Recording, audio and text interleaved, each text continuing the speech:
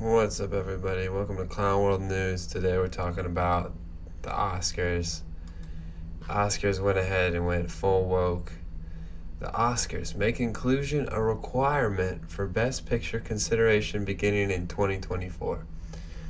And why are they waiting for 2024? Why not do it tomorrow? Why not? I don't. I don't know when the Oscars are. They're probably not tomorrow, but it is odd that the 2024 is their So the next president. Okay. But what do you mean inclusion is a requirement for Best Picture consideration? Now, before we jump in, first off, the Oscars, pretty much just an Employee of the Month contest. And we've already heard how people got Oscars in the past. A little bit of Weinstein action, you know what I'm saying? A little bit of Harvey. Little bit uh, they had to put a dent in Harvey, if you know what I'm saying.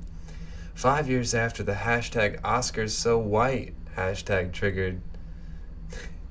you can't put a hashtag, I guess, I guess, but you should have just put Oscars so white, then a hashtag, regardless. Triggered controversy.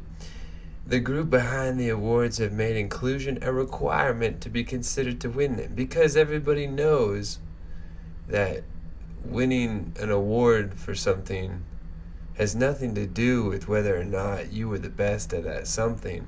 It has everything to do with how colorful your cast of characters was. It has to do with how much the people involved look like the cover of a sociology book, textbook. That's that's real choice. And what represents the most direct link between the movie industry's top prize and efforts to promote diversity and address systemic issues the Academy of Motion Picture Arts and Sciences announced Tuesday that movies must meet certain criteria in terms of representation in order to be eligible for the Academy Award for Best Picture, beginning in 2024. It's, it's not like the Olympics. It's not like this happens every four years. You could probably do this 2021 if you wanted. When are the, when are the Oscars? Are they coming out soon? I I always try to watch the Best Picture winners. The last Best Picture winner that I think I saw was Green Book. I recommend it. It was a good movie. It was about race, but it wasn't cringy in a lot of ways. It was it subverted expectations. Unlike Game of Thrones season 8, introduced under an initiative called Aperture 225. Why would what? Why not call it 224?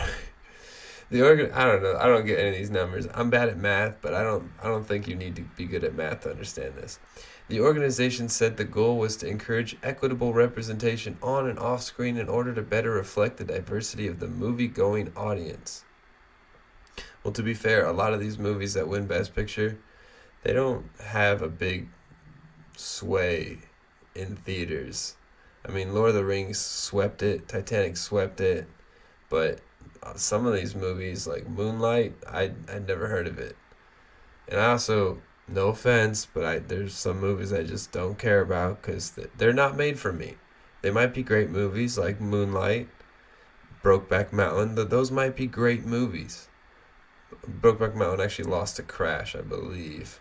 Because I remember on MTV they were making a big deal about how it should have been Brokeback Mountain. It could have been such a great moment. But I I never saw those. I'm sorry. I I just know they're not made for me. That's okay. It's okay to make movies for certain for niches. But now we got to make movies for everybody, which also happens to be China, because that's where a lot of the money's made. Can we have a category for the biggest pander to China? movies that made the most amount of money in China. If we have an objective uh, award ceremony, like just for money made, I think like Vin Diesel would win quite a few. I think the Fast and Furious movies make an obscene amount of money worldwide, but I, I haven't checked. Films must meet at least two of four benchmarks. They include featuring actors from underrepresented groups in significant roles. See, the problem with this already is what uh, underrepresented groups, what is that? That's very vague or accounting for at least 30% of the cast. Okay, now that's very specific.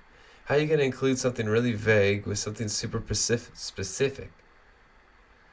Similar criteria in terms of those working on the film behind the scenes, a significant commitment to paid apprenticeships, internships, and career development, and significant representation among the teams devoted to marketing, publicity, and distribution.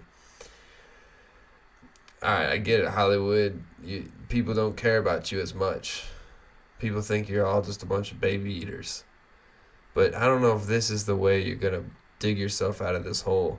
You might find that you're just like Shadow and Homeward Bound, and you're going to stay in that hole until at least the third or fifth call. During the Oscar campaigns in 2022 and 2023, movies will have to submit a confidential inclusion standards form. Why is it cut? What? But that won't prevent eligibility until the 96th Academy Awards, next year's awards, encompassing movies released in 2020, have already been delayed by two months due to the disruption in film. Wait, what? What are they saying? No, next year's awards. Awards. Okay, they're going to include some from 2020 because the whole incident. Things haven't been cha- been the same since the incident happened. We're gonna look back on this time and be like, hey, remember when we all wore masks except like half of us didn't, and then the other half got pissed, and then we got pissed at each other. That was fun. The change was made in consultation with the Producers Guild of America and adapted from standards developed by the British Film Institute that must be met to earn funding for certain projects in the UK. Ah, so that's why whenever you see like an English like a BBC like movie about like knights or something, the Crusades, there's a bunch of black knights, which I'm sure there was some black knights, but all of a sudden King Arthur is black. I guess I mean you're not going for realism, but that's okay too. You know, just don't as long as we don't like it's like it's like our food or plate. As long as you don't mix the ketchup and fries with the mashed potatoes, you don't want ketchup on your mashed potatoes. It's gross. You gotta keep yeah keep them separated. Dun, dun. You know what I'm saying? So like as long as like you you are you're upfront about what you're making, that's okay. That's cool. I don't mind diversity. I really don't. I just think if you're there's you know if you're trying to make a movie where the Nazis are the bad guys, you probably shouldn't use an Eskimo to play Hitler. It just doesn't fit, you know, the narrative. And I don't think anybody ever would make that mistake.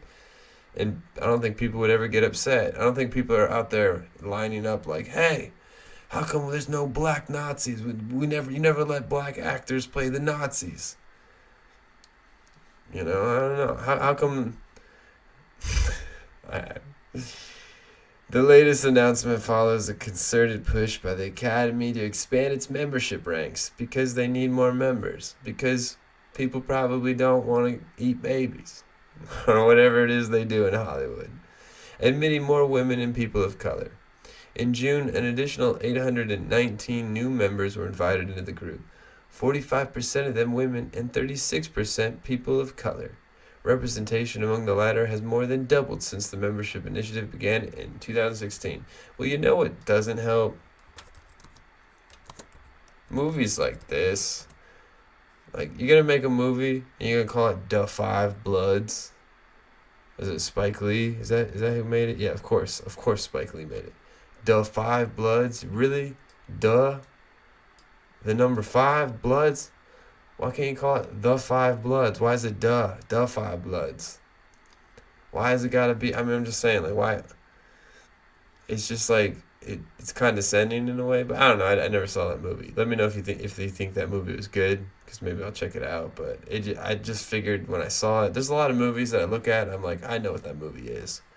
Sometimes I'm wrong though. Like I saw or I looked at three billboards outside of Ebbing, Missouri, and I was like, I know what that is. I don't want to see it. And then randomly one day I put it on. Within the first five minutes of that movie, I was like, no, this is a great movie. I can tell this is gonna be awesome, and it was awesome. That movie's great if you haven't seen it. The Oscars made history earlier this year when Parasite was anointed. Ooh, anointed. Like a baby getting his first Baptism. Best Picture. Becoming the first non English language film and first South Korean film to receive the prize. That's it. That's all they have. There's not a lot of info. But yeah, the Oscars. You know, you gotta be diverse. Everything's gotta be diverse. You know, forget forget making movies just to make movies. Yeah, make them diverse. I don't know. I don't know how I feel about it. I think it's silly because I think forced diversity is silly. I think for sure you shouldn't exclude people, but you shouldn't force people. Now, I'm I'm personally against affirmative action. I think that's pretty racist. This doesn't seem remotely as racist as affirmative action, but it does seem a bit odd. Is it going to be like, oh yeah, that that that movie only won because you know Ben Affleck's Batman or whatever the fuck. I don't I don't know what movie would be non-diverse. That I guess Ben Affleck's Batman is pretty diverse. I don't know, but whatever. Uh, the the ABBA bi- biography. Did they made an ABBA biography movie already? Yeah, they made Mamma Mia, right? Okay, so never mind. Well, yeah, but I don't know. We're gonna have to talk about how these like certain movies that were great, but they didn't they didn't get picked because they didn't have enough black people in it, or they're gonna force token person of colors roles into movies. Is it gonna? See, I don't know. I don't know what they're gonna do. I don't know what it is. I don't know if I even really care. Four years from now, man, I'm not like I've been so tunnel visioned on like, all right, when can I go to Canada? When is that border opening? When do I have? When can I not wear the same mask that I've been wearing for the last five months? To be fair, whenever I put it on, I only breathe in and out my nose, and I'm like really calm. And then I take it off as soon as I check out. I walk out and I put it in my pocket and I put it in the same spot. And I don't know. To be fair to who, I mean, really, it's just my problem I have to deal with. But I'm not a slob. I promise. My room is clean. Just don't don't look.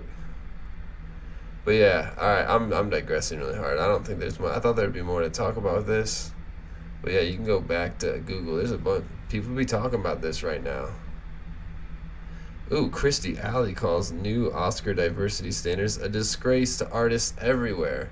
Yeah, what if you had like a painting contest, but it's like we're only gonna accept paintings that have thirty percent of all colors.